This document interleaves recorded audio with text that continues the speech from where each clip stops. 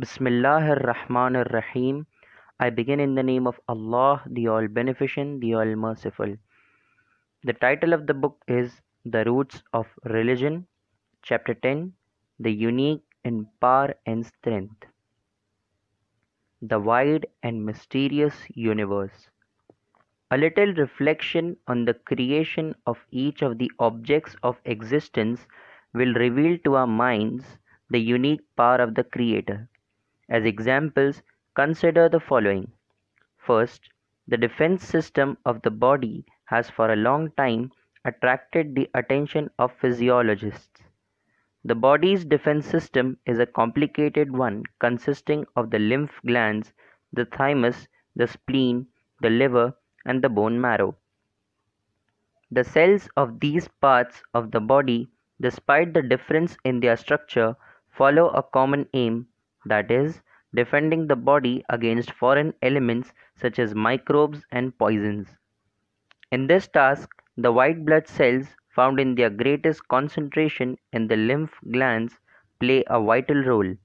When a foreign body enters the organism, the white blood cells, which are about 7 to 30 microns in a diameter, rush immediately to the site of the invasion and in various ways prevent an increase in the danger. To help these cells, the body follows different ways in the fight against foreign elements, and to combat each foreign substance, it manufactures antibodies. The antibodies made in the body are of different sorts. Some of them are for the destroying of microbes and their elimination. Some of them neutralize animal, insect, and chemical poisons. Some stop the activity of microbes and others separate out the poisonous substance in microbes and other noxious bodies. Yet another kind comes into action when blood from an incompatible blood group enters the body. The point is that the body can manufacture suitable antibodies against all kinds of foreign substances, even those which are as yet to unknown to modern science. Second, the director of the Leon Observatory on Mount Palomar in Arizona has said, As long as the telescope of this observatory had not been invented, the range of the visible universe was not more than 500 light years. But this telescope has extended this range to 1000 mile million light years. As a result, millions of new galaxies have been found, and some of these are a thousand million light years from us. But beyond this distance, there is a great, dark, fearful expanse in which nothing can be seen. That is to say, that no light comes from it which leaves its traces on the photographic plates of the telescope. But without doubt, there are hundreds of millions of galaxies by the force of whose gravity the universe is held together. The whole of this immense visible universe, which contains a hundred thousand million galaxies, is nothing but a small and insignificant speck in a still more immense universe, and I am not sure that we shall not find beyond that yet another universe. Ali ibn Abi Talib, the first Imam, peace be upon him, said, We are not able to fathom from the depths of your greatness, only we know that you are living and everlasting, that neither slumber nor sleep takes hold of you. No sight can reach you, and no eye can see you, but you can see the eyes and reckon the time span of everything. The heads and feet of man are in your hold. What is that we see of your creation? What is the power that causes us to wonder? What can we describe of your ruling?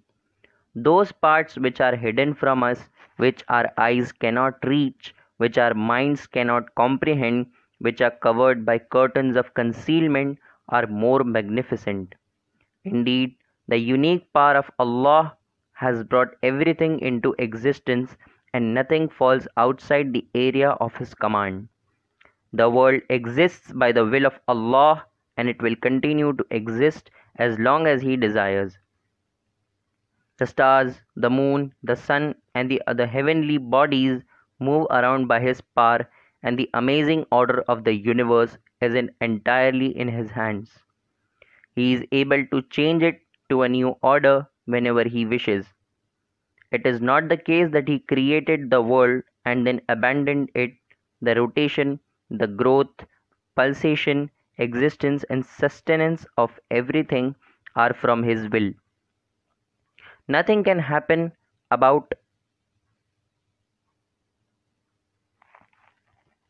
Nothing can happen without his willing, neither can anything remain.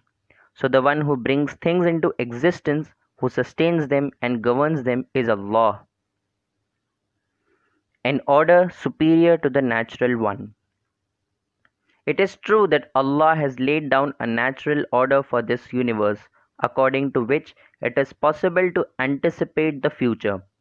But in certain circumstances, Allah manifests His wide ranging power and by His will creates a superior order which can dominate the existing order.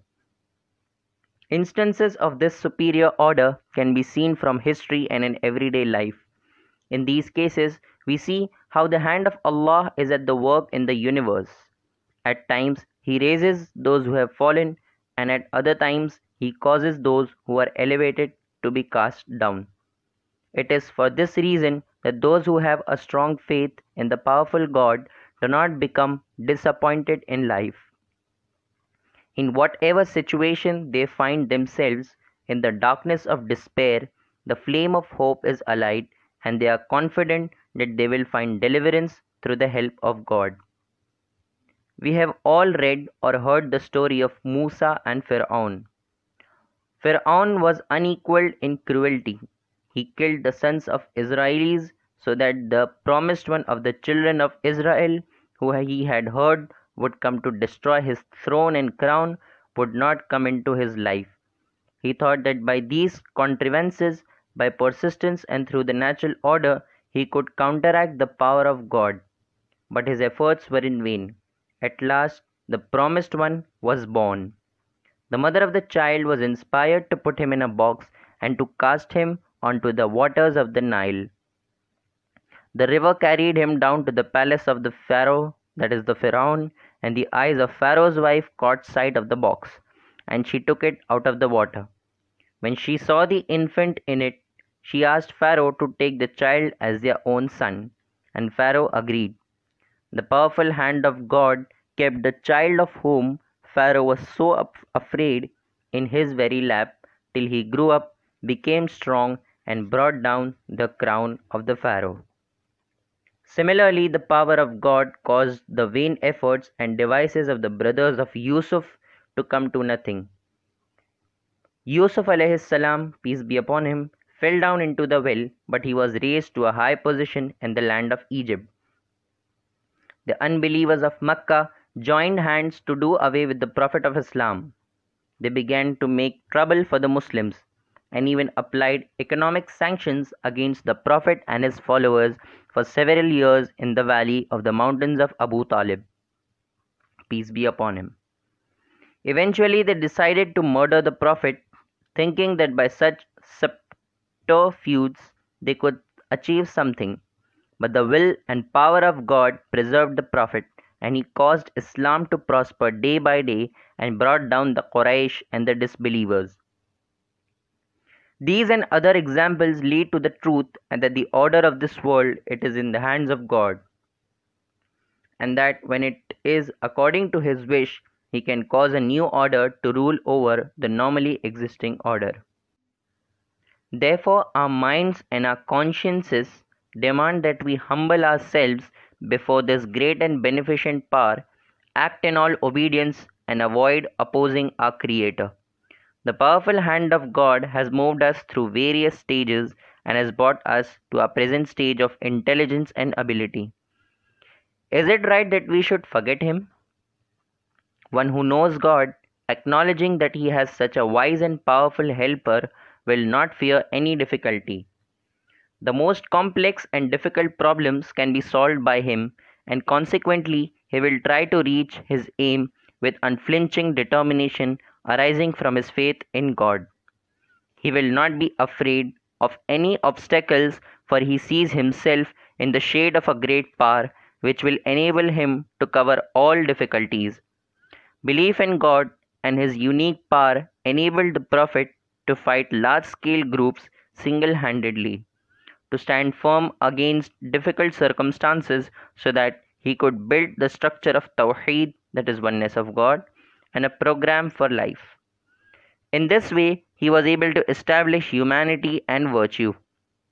A man whose heart is overflowing with faith in the Creator of the world and is filled with love for the truth will never feel alone, disappointed, or without hope, and the light of God will always illuminate the corners of his heart. Obviously, such a man will make himself ready for a better and more virtuous life with unbounded enthusiasm.